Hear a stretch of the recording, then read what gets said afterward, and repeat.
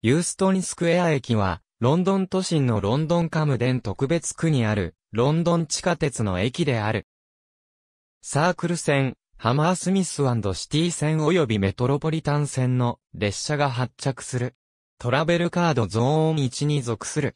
なお、ノーザン線、ビクトリア線が発着するユーストン駅は近いものの、別の駅である。二面のホームを持つ、地下駅で同じ方向に向かう列車であれば、路線を問わず同じホームに発着する。駅は1863年の世界最初の地下鉄が開業した際に開業した区間にある。開業時はガワーストリートの名称であったが、1909年に現在の名称に変えられた。2006年に古い入り口が移設され、ユーストンロードの南側、ウェルカムトラストの本部の角に新しい入り口が作られた。ユニバーシティカレッジロンドンのすぐ北、ユーストンロードとガワーストリートの交差点の地下にある。ユーストン駅及びユーストン地下鉄駅から近い。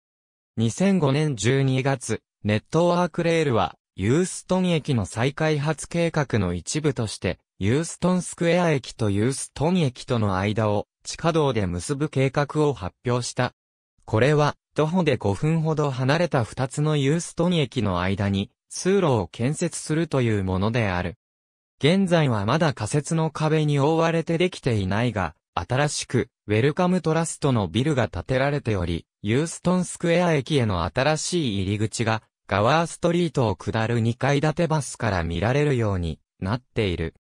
ロンドンバスの18、30、73、205、390系統と、深夜バスの N5、N20、N73、N205、N253 系統が当駅から発着する。Step free tube guide。 Transport for London 2015年6月3日、時点のオリジナルよりアーカイブ。